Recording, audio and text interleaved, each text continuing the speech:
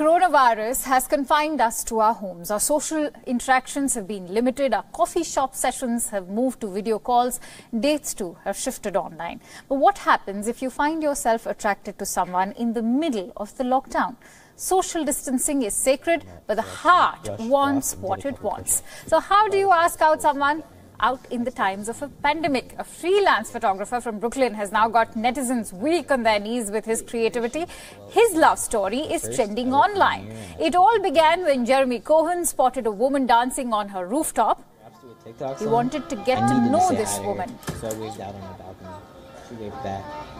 I grabbed my tape, pen, drone. But going to her building was not an option. He didn't even know her name. So pinging her on social media was out of question too. So Cohen found a unique way to reach out to her. He sent a drone with his phone number. I looked out my window and saw this girl dancing, perhaps to a TikTok song. I needed to say hi to her, so I waved out on the balcony. She waved back. I grabbed my tape, pen, drone, and paper. Then I wrote down my digits and sealed it on my drone. Flirting is normally daunting for me, but since I've been quarantined in my apartment for a week now, I was craving some social interaction. 2020 has been off to a so the mystery woman soon texted him, and that's how their love story began.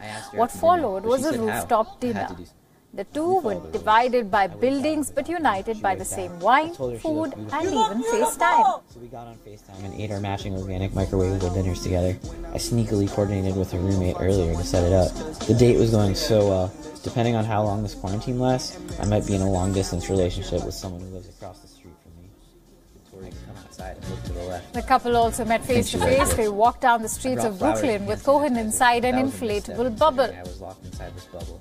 We were having a lovely walk in the neighborhood when a cop called Tori to come outside and look to the left. I think she liked it. I brought flowers and hand sanitizer, but that was a misstep considering I was locked inside this bubble.